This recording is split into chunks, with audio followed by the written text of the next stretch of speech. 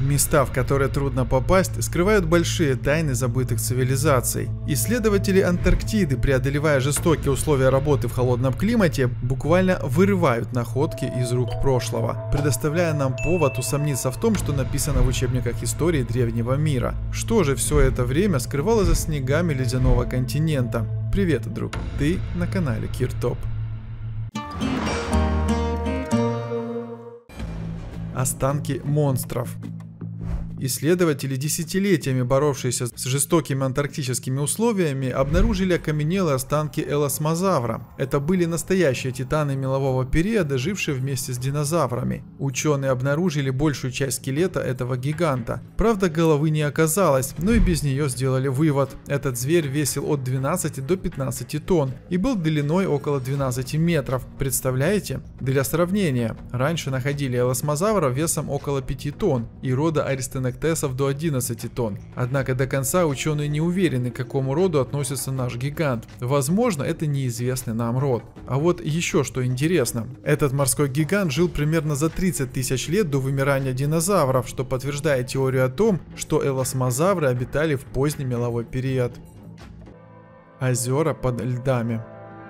Всего в Антарктике найдено уже более 400 подледниковых озер, и каждая из них была изолирована от остального мира и атмосферы миллионы лет. А это значит, что жизнь там может быть совершенно уникальной и древней. Ученые уже пробурили два маленьких озера и обнаружили микробную жизнь. Но что происходит в больших озерах остается загадкой, ведь там нет солнечного света, поэтому микробы не могут использовать фотосинтез. Чтобы жизнь была более разнообразной, вода в озере должна перемещаться, чтобы питательные вещества и кислород равномерно распределялись. На поверхности Земли это делает ветер и солнце. Под льдами источником тепла и движения может служить геотермальное тепло, поднимающееся из недр Земли. Это тепло способно создавать потоки в подледных озерах, перемешивая воду и делая ее более гостеприимной для жизни.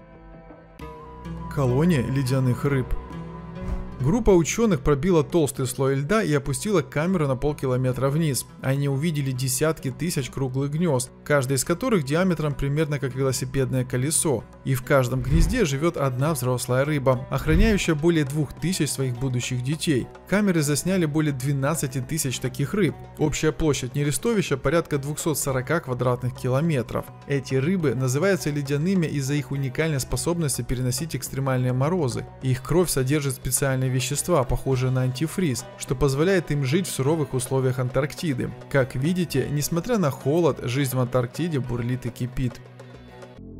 Пирамиды.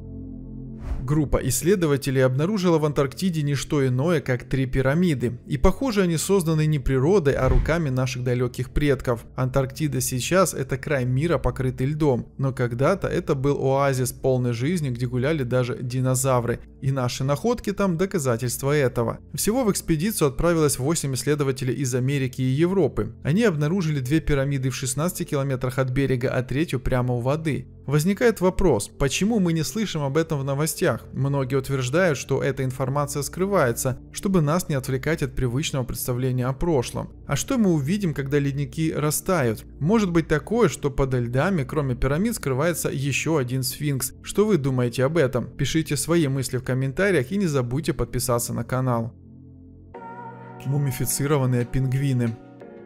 Исследователи из Китая в Антарктиде обнаружили кладбище мумифицированных пингвинов, и многие из них были всего лишь птенцами. Сначала ученые думали, что пингвины не пережили два периода экстремальных осадков, но ведь пингвины живут в Антарктиде и привыкли к холоду и снегу, так что здесь что-то не совсем вяжется. Теперь ученые предполагают, что в этих массовых гибелях пингвинов виновато изменение климата, по их мнению, увлажнение климата, вызванное глобальным потеплением, могло привести к этой трагедии. Пингвины, как оказалось, не были готовы к таким условиям и сразу погибли. Это произошло дважды, около 750 и 200 лет назад. Ученые выяснили это, используя радиоуглеродное датирование. И кажется, пингвины не погибали сразу, а умирали постепенно.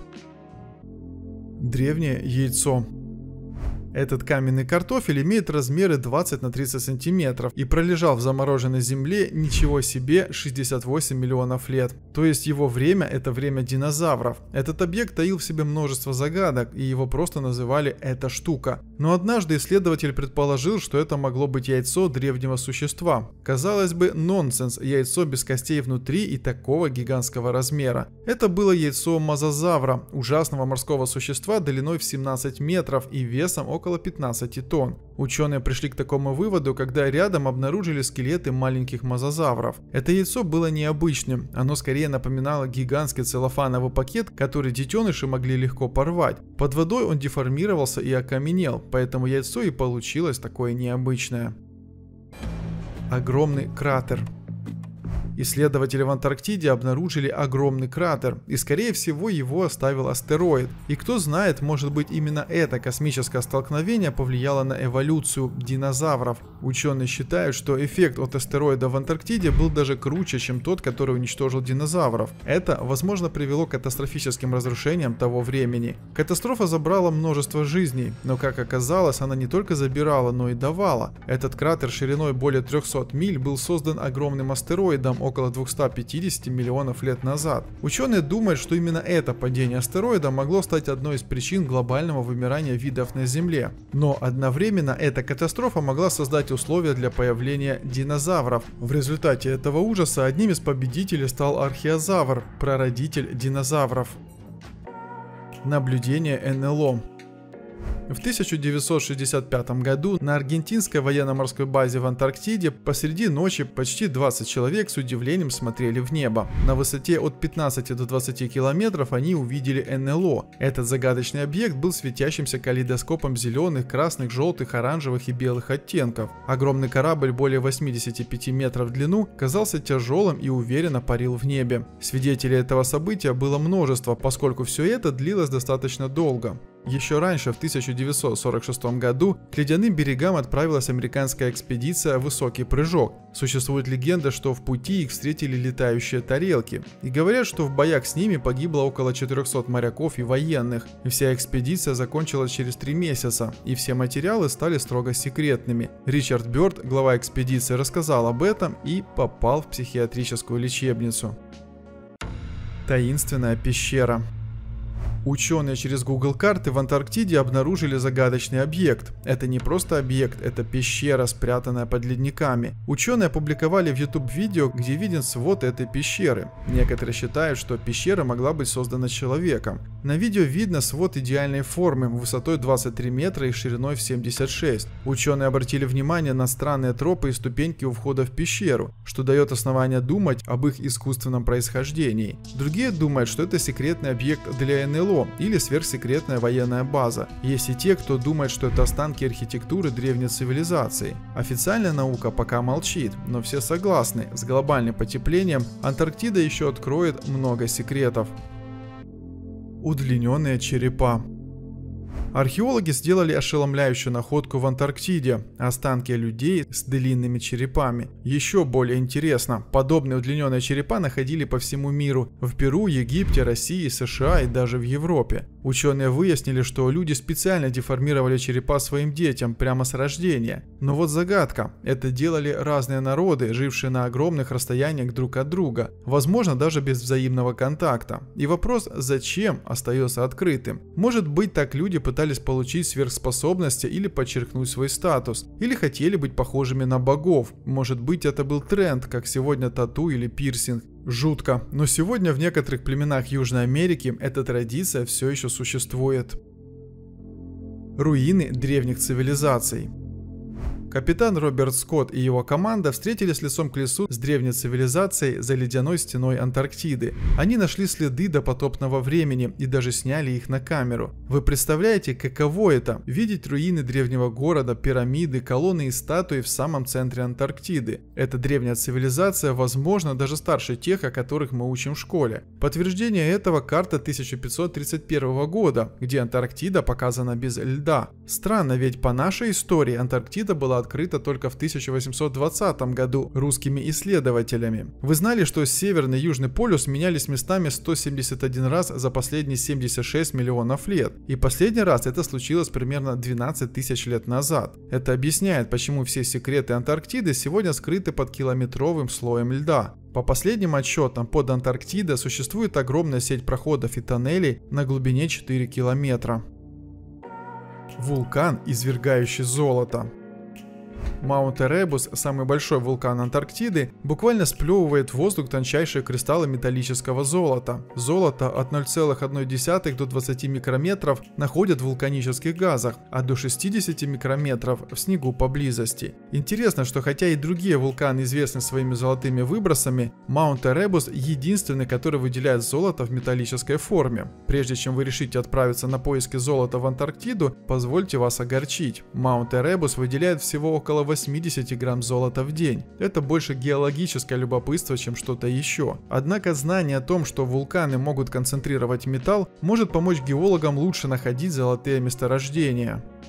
Марсианская связь этот минерал впервые обнаружил марсоход Opportunity на Марсе в 2004 году. Минерал ярозит, который известен на Земле с 1872 года, считался нашим, земным. Он требует воды, железа, сульфата, калия и кислотности для образования. Все, что есть на Земле, но редко встречается на Марсе. Однако оказалось, что на Марсе ярозита гораздо больше, чем у нас. Вот и возник вопрос, как он мог образоваться там в таком большом количестве. Найденные на Земле частицы были потрескавшие оставшимися и без острых краев, что свидетельствует о том, что они образовались и разрушились внутри льда. И вот здесь наступает самое интересное. Ученые предполагают, что на Марсе ярозит формируется таким же образом.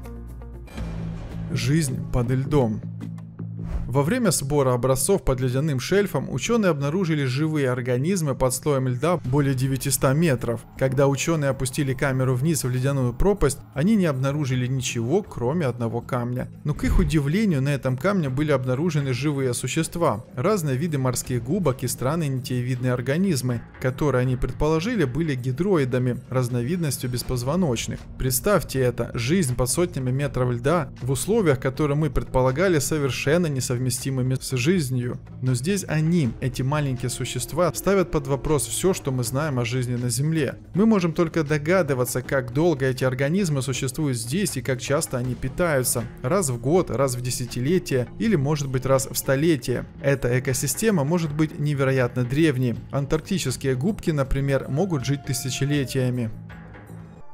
Экспедиция адмирала Бёрда все началось с книг, написанных Амадео Джанини и Реймондом Бернардом, которые обсуждали необычную теорию о том, что Земля на самом деле полая. Они утверждали, что Бёрд во время своих экспедиций не просто летел через полюса, а попадал в гигантские впадины внутри планеты. Уфолог Рэй Палмер еще больше подогрел интерес к этой теории, представив ее в своем журнале о НЛО. Он вызвал настоящую бурю обсуждений. Джанини, Бернард и Палмер утверждают, что Бёрд заявил о проникновении на 3700 километров внутрь Земли через Южный полюс. И перед смертью он даже намекнул на существование волшебного континента в небесах края вечной тайны, за полюсами. Страна дождей и радуги, дом мифической потерянной цивилизации. Эти упоминания подтверждают их версию. Земля имеет форму пончика с огромными впадинами на полюсах, внутри которых находятся неизведанные земли и возможно даже секретные базы НЛО. Глобальное потепление только начинает открывать тайны ледяного континента. С таянием ледников будет открываться все больше мистических находок. Казалось, что историю уже не переписать, но что будет, если поисковое движение начнется во всю силу? Ставьте этому видео лайки и подписывайтесь на канал. Посмотрите еще это видео про находки пугающих ученых по всему миру. Спасибо за ваши просмотры, всем пока!